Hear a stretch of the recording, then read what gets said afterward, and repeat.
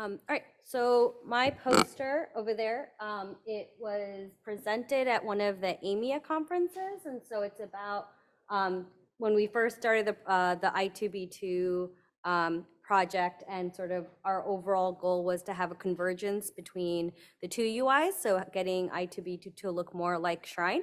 Um, I actually went through some of those points in my earlier presentation. So we initially had those five goals that we were trying to achieve by starting the I2B2 uh, UI project. Um, and then we, the poster just also goes through some of the UI choices that we made. So why we went from a, um, what is this, a, ver- a a horizontal layout of the panels to a top-down vertical layout um, and some of the color choices that we made. So those were all sort of done in Shrine, and then we sort of reused a lot of those learnings into the I2B2 web client. Um, So if you have any questions about the UI, feel free to ask.